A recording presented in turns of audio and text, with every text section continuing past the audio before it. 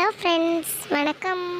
இன்றைக்கி நான் எதை பற்றி பேச போகிறேன்னா பிஸ்தாவின் பயன்கள். பிஸ் இந்த சேனலுக்கு நீங்கள் புதுசாக இருந்தால் சப்ஸ்கிரைப் பண்ணுங்கள் இந்த வீடியோ நான் போடுற வீடியோஸ்லாம் பிடிச்சிருந்தா லைக் பண்ணுங்கள் கமெண்ட் பண்ணுங்கள் மற்றும் நண்பர்களுக்கு ஷேர் பண்ணுங்கள் அது போக பக்கத்தில் இருக்கிற பெல் பெல் ஐக்கனை ப்ரெஸ் பண்ணுங்கள் அப்போ தான் நான் போடுற ஒவ்வொரு வீடியோக்கும் உங்கள் ஃபோனில் நோட்டிஃபிகேஷன் வரும்.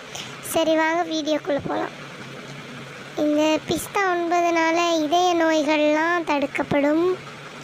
செரிமானம் சரியாக இருக்கும்.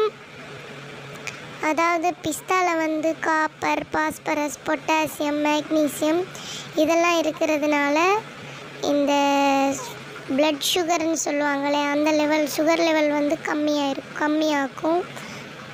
அப்புறம் வெயிட்டு வந்து பேலன்ஸ் பண்ணிடும் நோய் எதிர்ப்பு சக்தி அதிகம் வாய்ந்தது. அப்புறம் நார் சத்து நிறைய இருக்குது இந்த ஹீட்டுனால தோல் வந்து ட்ரையாக இருக்கும். அந்த மாதிரி ட்ரை ஆகாமல் நல்ல இதாக இருக்கும். அப்புறம் ஸ்ட்ரெஸ் கம்மியாகும். கொலஸ்ட்ரால் கம்மியாகும். விட்டாமின் பியும் நிறைய இருக்கிறதுனால இது ரொம்ப விட்டாமின் பி கம்மியாக உள்ளவங்க சாப்பிட்டா இது ரொம்ப ஹெல்ப்ஃபுல் அப்புறம் கண் பார்வைக்கு சிறந்தது.